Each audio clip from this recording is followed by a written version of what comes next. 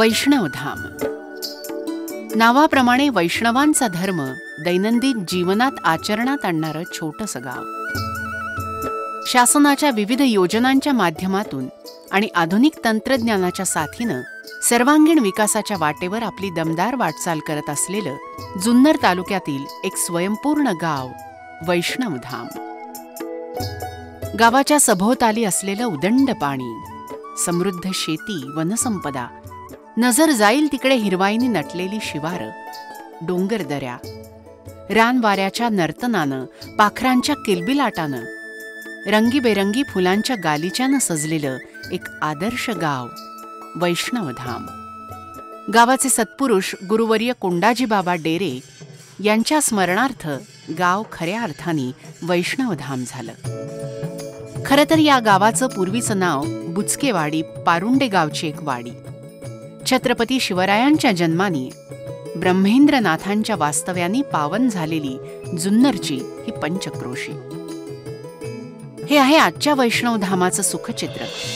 पण वैष्णवधाम गावाची पूर्वस्थिती फार बिकट आणि दुर्लक्षित होती.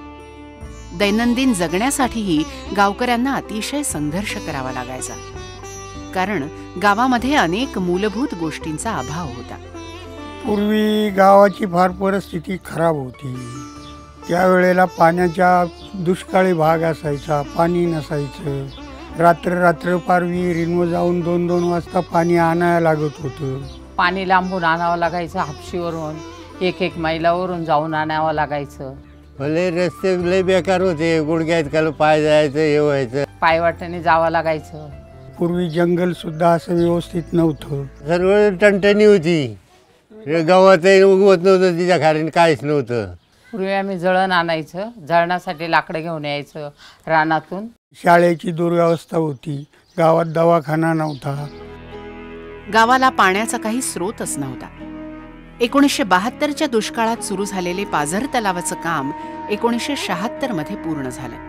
थोडीशी आशा पल्लवित झाली. पाझरलेलं पाणी डिझेल इंजिनाच्या सहाय्याने उचलून बागायतीला सुरुवात झाली. पण ही व्यवस्था तुटपुंजी खर्चिक होती. आणि मुख्य अडचण होती ती म्हणजे अल्प कालावधीचा पाण्याचा स्रोत.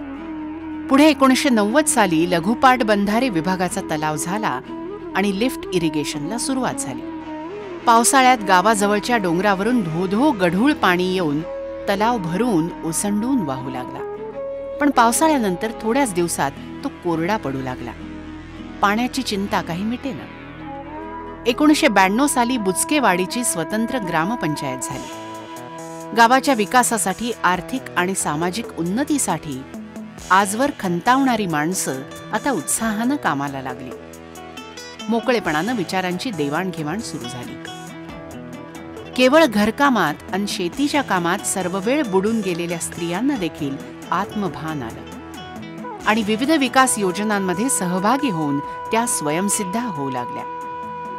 पावसाळ्यात तलावातून ओसंडून वाहून जाणाऱ्या पाण्याला शिवारात गावातच अडवण्यासाठी पाणलोट विकासाची संकल्पना पुढे आली.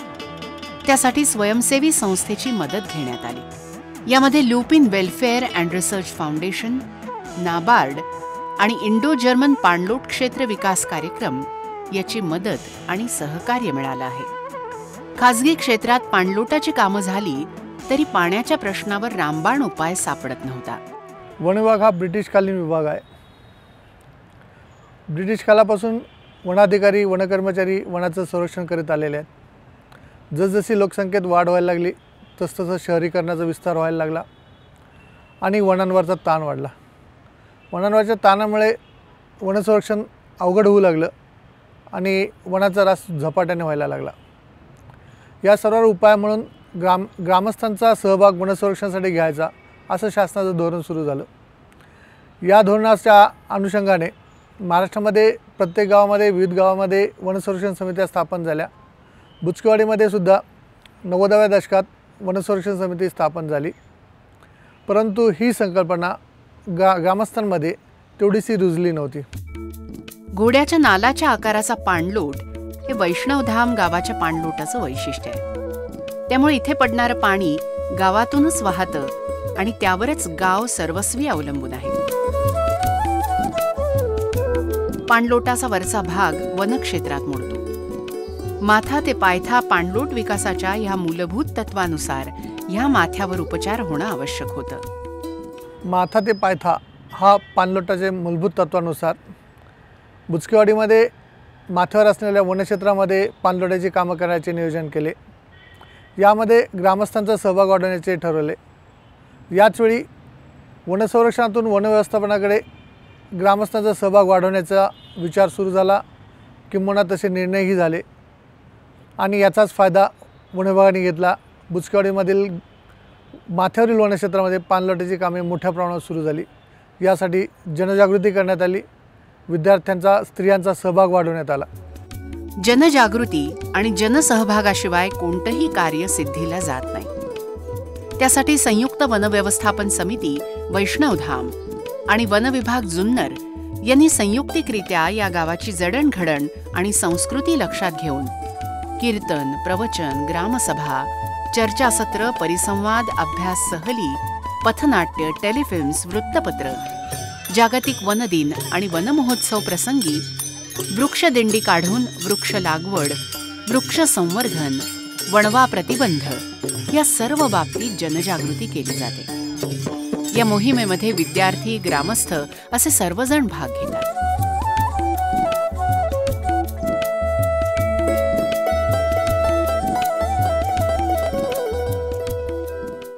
सुरुवातीला गावामध्ये उग उघड रान होतं. गावात कुठल्या प्रकारच्या सुविधा नव्हत्या. ह्याच काळात वन खातं व आम्ही संयुक्त वन समिती स्थापन करून गावाची एकत्र बैठक घेऊन आम्ही गावामध्ये लागवड केली पाणलोटाची कामं केली व यातून आम्ही एक मोठा प्रकल्प हा राबवू शकलो. या गावाच्या नऊशे तेरा हेक्टर क्षेत्रात सलग समपातळी चर वॅट दगडी बांध नाला बांध वदनाई बंधारे जाळीचे बंधारे सिमेंट बंधारे मातीचे बंधारे केटी बंधारे पाझर तलाव. शेततळी बांधावरील सांडवे शेत बांध बंदिस्ती इत्यादी कामं दोन हजार नऊ ते दोन हजार बारा या कालावधीत पूर्ण करण्यात आली. सलग समतल चरांमुळे वृक्षारोपण करता आलं. तसंच लूज बोल्डरमुळे वाहून जाणारी माती अडली जमिनीची धूप थांबली. त्यामुळे विहिरींच्या पाणी पातळीत वाढ झाली. गुरांना वन्यजीवांना पाणी मिळालं. एकूणच भूजल पातळीत लक्षणीय वाढ झाली. वैष्णवधाम गावाजवळ ओढा आणि तलाव असल्याने पिण्याचं पाणी उपलब्ध आहे. तसंच वनक्षेत्रामध्ये तीन आणि खाजगी क्षेत्रात वनक्षेत्रालगत अठरा शेततळी खोदण्यात आली आहेत.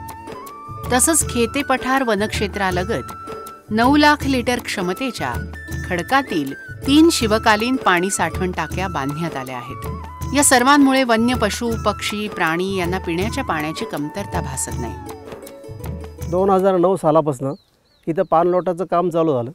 महत्त्वाचं म्हणजे फॉरेस्टामध्ये सी सी टी व्हॅट याचं काम केलं गेलं आणि न नवीन वृक्षारोपण झालं. फॉरेस्टात झाडांची वाढ झाली आणि वाढ झाल्यामुळं पावसाचं प्रमाण वाढलं गेलं. आणि झाडांची वाढ झाल्यामुळं गवताचा चारा जो आहे तो जनावरांना त्याचा उपयोग झाला शेतकऱ्यांना. तिथले ग्रामस्थ आणि फॉरेस्ट यांच्या सहकार्याने ह्या जो कार्यक्रम यशस्वी पा झालेला आहे तो इथून पुढे पण असाच चालू राहील आणि ग्रामस्थ ह्या कामाच्या निमित्तानं असंच योगदान पुढे देत राहतील.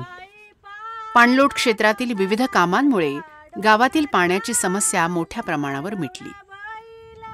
त्याआधी शिवारामध्ये कोणतं पीक घ्यायचं? त्याला खात्रीशीर पाणी मिळेल का असा ग्रामस्थांना प्रश्न पडायचा. त्यामुळे पारंपरिक पिकं घेण्याकडेच सर्वांचा कल असायचा. आता सद्यस्थितीत गावकरी हवामानाला आणि मातीला अनुकूल अशी पिकं घेऊ लागले आहेत. सुरुवातीला पारंपरिक पद्धतीने खरीपामध्ये भात टोमॅटो काळेवाल यांची लागवड व्हायची. पण रब्बीच्या हंगामात गहू हरभरा यांची लागवड कमी होती. पण सद्यस्थितीत पाण्याच्या उपलब्धतेमुळे बटाटा संकरित भात टोमॅटो आणि भाजीपाल्यामध्ये मेथी मिरची कोथिंबीर फरसबी वांगी ही पिकं शेतकरी घेऊ लागलेत. ही सर्व नगदी पिकं दोन ते अडीच महिने कालावधीची असल्याने पैशांची उलाढाल लवकर होते.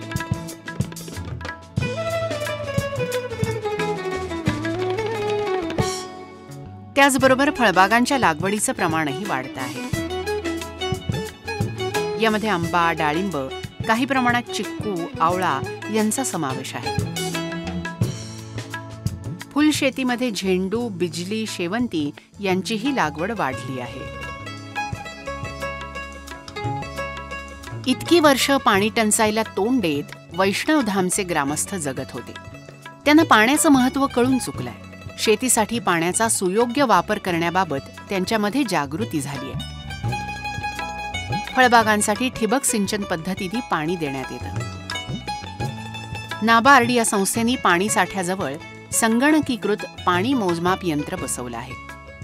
कोणत्या पिकाला किती पाणी द्यायचं हे प्रगत तंत्रज्ञान डी आर एम यू डेटामॅट्रिक रिमोट मीटरिंग युनिट हे राबवून या उपकरणांनी वीज पाणी मोजणं प्रतिदिन प्रति तास कुठल्या शेतकऱ्यांनी किती पाणी आणि वीज याचा वापर केला याची माहिती नेटवर्क मार्फत शेतकऱ्यांना आणि संस्थेला मिळते. हे तंत्रज्ञान राबवणारं वैष्णवधाम हे पहिलं गाव ठरलंय. याबरोबरच ठिबक सिंचन सामूहिक शेती अवजार बँक सुधारित वैविध्यपूर्ण शेती एकात्मिक कीड व्यवस्थापन गटशेती थेट भाजीपाला विक्री इत्यादी नाविन्यपूर्ण उपाययोजनांनी शेतकऱ्याच्या निव्वळ उत्पन्नात वाढ केली. आमच्या गावामध्ये वनविभागामार्फत संयुक्त वनव्यवस्थापन समिती स्थापना झाली. त्यानंतर गावामध्ये कुराडबंदी चराईबंदी असे उपक्रम राबवण्यात आले. तर माझी फॉरेस्ट लगत साडेसात एकर क्षेत्र आहे. तर माझ्याकडं या चराईबंदीमुळे आमच्याकडं चाऱ्याची उपलब्धता मोठ्या प्रमाणावर आहे. तर मी माझी चार दुभती जनावरं माझ्याकडं आहे. त्यापासून मला दुधाचं उत्पन्न चांगल्या प्रमाणे होते आणि चाऱ्या मिळाल्यानंतर जे राहिलेलं शेण गोमूत्र यांच्यापासून मी गांडूळ खत निर्मितीचा प- उपक्रम घेतला. त्यामध्ये मला फॉरेस्टची मदत झालेली आहे. वनक्षेत्रातील पाणलोटाच्या कामांमुळे झालेला लक्षणीय बदल पाहून वन व्यवस्थापनात गावकऱ्यांना रस निर्माण होऊ लागला. प्रत्येक महिन्याला समिती सदस्यांची बैठक आयोजित होऊ लागली. वन वणवा ही एक सार्वत्रिक अशी गंभीर समस्या आहे ज्यामुळे मूल्यवान अशा वृक्षवल्लींचं अमाप नुकसान होतंच. पण त्याचबरोबर पशुपक्षी कीटक आदींच्या अस्तित्वाला आणि पर्यावरणाला गंभीर धोका निर्माण होतो. वणवा विझवण्याऐवजी तो लागूच नये यासाठी गावकऱ्यांचा सक्रिय सहभाग आवश्यक होता. त्याकरता जाळ रेषा घेण्याच्या कामात संयुक्त वनव्यवस्थापन समितीचं सहकार्य घेण्यात आलं. महिला कॉलेजमधल्या मुलांनी जाळ रेषा काढल्या.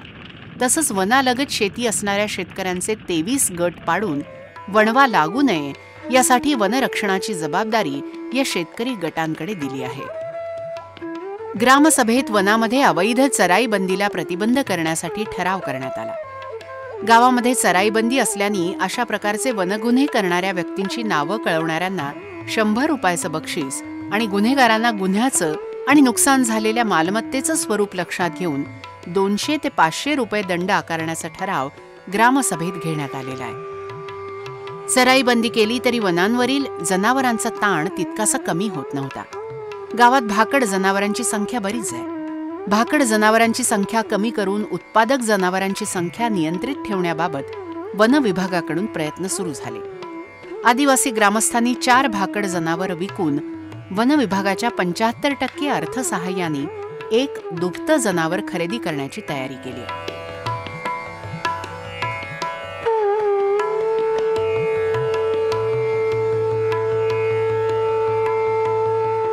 संपूर्ण ग्रामविकासामध्ये ग्रामस्थांचा सहभाग फार महत्त्वाचा असतो. विशेषतः योजनेच्या मूळ संकल्पनेनुसार वन विभागाच्या कामांमध्ये लोकसहभागाशिवाय कोणतंही काम उभं राहू शकत नाही. त्यासाठी ग्रामस्थ गट महिला बचत गट वन संरक्षण समिती तंटामुक्त गाव समिती महिला मंडळं युवक मंडळं वन विभागाचे क्षेत्रीय कर्मचारी अधिकारी या सर्वांच्या सहमतीनं विविध विभागातली कामं वन विभागाने केली आहेत. आम्ही गावामध्ये काम करत असताना गावचा लोकसहभाग आम्हाला चांगल्या प्रकारे मिळतो. त्याचबरोबर गावामध्ये आम्ही अनेक प्रकारच्या समित्या तयार केलेल्या आहे. समित्यांमुळे आमच्या विकास कामांना चांगला सपोर्ट मिळाला आहे. आमच्या गावामध्ये एकूण चौदा महिला बचत गट आहेत. त्या महिलांनी वेळोवेळी मिटिंगा घेतात. त्याचबरोबर त्या महिला मिटिंगींमुळे त्यांना बँकेचे व्यवहार कळायला लागले. महिला सक्षमीकरण झाले. त्याचबरोबर महिला महिलांचे पुण्यामध्ये भीमथडीला टॉल लावले होते जेवणाचे. त्यामुळे त्यांचा आर्थिक त्यांना मदत झाली. आणि महिला या धाडशी झालेल्या आहेत. आणि महिला सक्षमीकरणामुळे घराला त्यांचा हातभार लागला आणि फॉरेस्ट खात्यामुळे आमची अनेक प्रकारची विकास कामं झालेली आहेत. महिलांना जळणासाठी जंगलात जाऊन लाकूड फाटा आणायला लागायचा. त्यामुळे बेसुमार अशी वृक्ष तोड व्हायची लाकूड विकलं जायचं आणि उरलेलं जळणासाठी वापर व्हायचा. हे टाळण्यासाठी वन विभागाने गावकऱ्यांना पर्यायी इंधनाचा वापर करण्यासाठी प्रवृत्त केलं. त्या अनुषंगाने गावात बायोगॅस सौर ऊर्जा कमी इंधनावर चालणाऱ्या निर्धूर चुली एलपीजी गॅस इत्यादींचं वनविभागाच्या विविध अनुदान योजनातून आणि लोकवर्गणीतनं वाटप करण्यात आलं.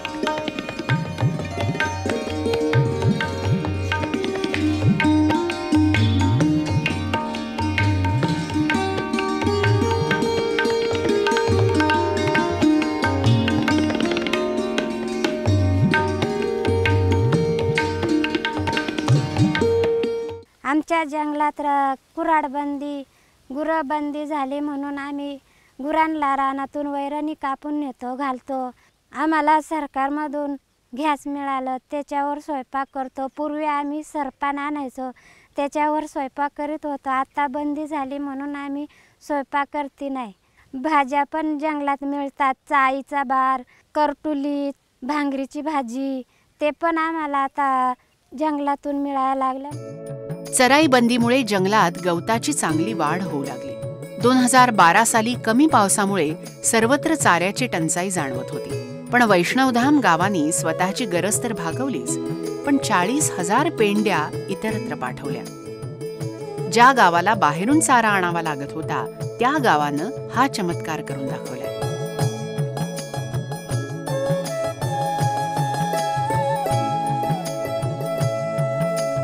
दुग्ध उत्पादनात वाढ झाल्याने गावातनं साडेतीनशे लिटर दूध बाहेरगावी पाठवलं जातं. पूर्वी गावाच्या सार्वजनिक कामाकरता पैशाची नेहमी चणचण भासायची. त्यामध्येही अनेक अडचणींना सामोरं जावं लागायचं. सुरुवातीला आमच्या गावामध्ये कुठल्या प्रकारचा कार्यक्रम करायला ठरले तर वर्गणी गोळा लोकवर्गणी गोळा करायची त्यावेळेस गरीब आणि श्रीमंतामध्ये वाद व्हायचे याच्यातून भांडणं व्हायला लागली. मग सर्वांगी मी ते विचार ठरला की आपल्या गावातून जे काय शेतीत उत्पादन निघतं त्या डागाप्रमाणे प्रत्येक सरास एक रुपया कर ठेवून जो काय उत्पन्न मिळेल त्या उत्पन्नातून आपल्या गावच्या विकासाला हातभार लावायचा असं एक संकल्पना आमच्या गावच्या ग्रामसभेत मिटिंग मांडली. आणि आज तकायत वीस दहा बारा वर्षापासून आम्ही ही संकल्पना केल्यापासून दरवर्षी आम्हाला अडीच ते तीन लाख रुपये उत्पन्न भेटतं. त्यातून आमचा गावचा जो काय वर्षाचा वार्षिक खर्च होतो सण सूद किंवा इतर उपक्रम करून उरलेल्या पैशामध्ये आम्ही गावाला परत करतो. आज सगळ्यात आमच्या गावाकडं गेले दहा वर्षापासून टोटल मिळून एकोणतीस लाख रुपये जमा झाले असून आणि यातून आमच्या गोरगरिबांची आर्थिक व्यवस्था व टंचाई दूर होती. दानाची महती म्हणजे मनुष्य जन्माची फलश्रुती. सामाजिक असो की धार्मिक अथवा आध्यात्मिक प्रेरणेनी अनेकांना दानाची महती समजते. वैष्णवधाम गावालाही श्रमदानाची पूर्वापार परंपरा आहे. गावाला दोनशे हेक्टर वनक्षेत्र आहे. हे सर्व क्षेत्र वनाच्छादित करण्यासाठी मोठ्या प्रमाणावर निधीची गरज आहे. उपलब्ध अनुदानानुसार सन दोन हजार बाराच्या पावसाळ्यात वन विभागाने ग्रामस्थांच्या मदतीने पंचवीस हेक्टर क्षेत्रावर लागवड केली. नैसर्गिकरित्या उगवलेल्या झाडांचं संगोपन सुरू केलं आहे. झाडोऱ्यातील जोमदार फुटवा ठेवून इतर फुटव्यांची विरळणीची कामं सुरू केली गेली आहेत. गावाच्या प्रगतीचा आढावा घेण्यासाठी नियमित बैठकीचं आयोजन होत असतं त्यामध्ये ग्रामस्थ आणि मूळच्या रहिवासी सौभाग्यवती आशाताई बुचके जिल्हा परिषद सदस्य आणि गटनेत्या या नेहमी मार्गदर्शन करत असतात त्यांची वन खात्याच्या प्रमुख अधिकाऱ्यांबरोबर एकूण कामाबद्दल चर्चा होते आणि त्याबाबत ग्रामस्थांसाठी अधिकाऱ्यांचं मार्गदर्शन घेतलं जातं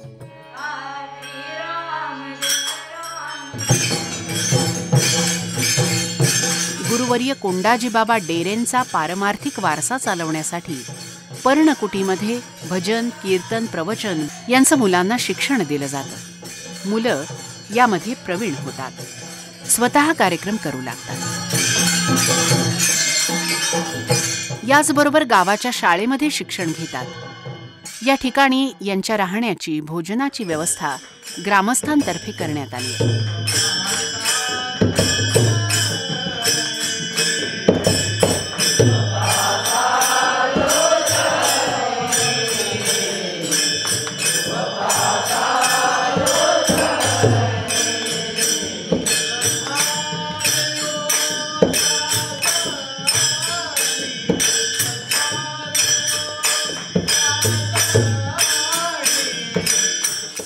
वनव्यवस्थापन वन समिती वैष्णोधाम आणि वन विभाग जुन्नर यांच्या माध्यमातून वैष्णोधाम गावामध्ये जे काय कामं झाली या कामामध्ये गावाने जो वन विभागाला सहभाग दाखवून दिला त्याच्यामधून आम्ही या गावाला व्हिजिट देण्यासाठी आलो. ह्या गावाकडून आम्हाला आता प्रेरणा भेटलेली असून आम्ही देखील आमच्या गावामध्ये ही विकास कामे करण्याचा नक्कीच प्रयत्न करू.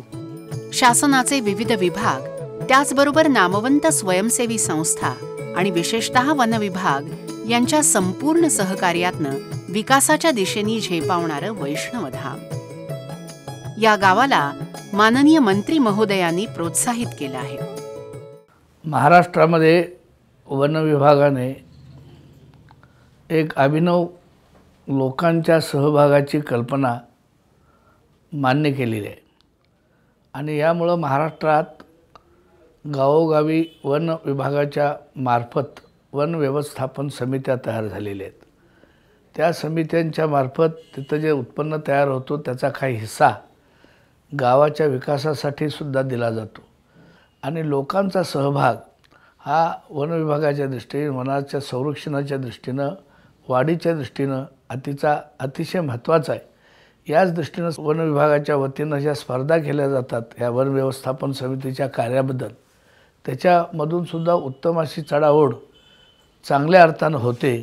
आणि लोकाभिमुख हा वन विभागाचा कारभार लोकांच्यापर्यंत पोचलेला आहे. वन ही आपली आहेत. आपण त्याची जोपासना केली पाहिजे राखली पाहिजे अशी भावना लोकांच्यामध्ये निर्माण झालेली जुन्नर तालुक्यामध्ये वैष्णवधाम या गावानं उत्तम वन व्यवस्थापन समितीनं काम केल्यामुळं हा जो पुरस्कार आम्ही देतो नावा संत तुकारामांच्या नावानं तो या गावाला मिळालेला आहे. त्या गावाला आणि यामध्ये भाग घेणाऱ्या सर्व वन व्यवस्थापन समित्यांना माझ्या शुभेच्छा. एखाद्या गावानी निर्माण केलेली विकासाची वाटचाल जपणं आणि मार्गक्रमण करणं त्या गावासाठी अवघड गोष्ट आहे. वैष्णवधाम गावातील ग्रामस्थांना येणाऱ्या भविष्यकाळात प्रगतीच्या पाऊलखुणा जपण्यासाठी नेहमी जागरूक राहावं लागणार आहे. याकरता सतत एकजुटीने एक दिलानी गाव विकासाची कामं करावी लागणार आहेत. निसर्गाने मुक्त हस्तानी दिलेलं दान जपावं लागणार आहे. ग्रामस्थांना वनखात्याच्या माध्यमातून मिळालेलं मार्गदर्शन वनसंपत्ती जपण्यासाठी राखण्यासाठी उपयोगी ठरणार आहे. यासाठी मानवतेचे सर्व भेदाभेद पार करावे लागणार आहेत. लोकशाही पद्धतीने सर्वार्थाने निर्णय घ्यावे लागणार आहेत. अर्थात यासाठी वैष्णवधाम गावातील ग्रामस्थ कटिबद्ध राहणार आहेत. स्वयंपूर्ण गावाचं स्वप्न साकार करणार आहेत.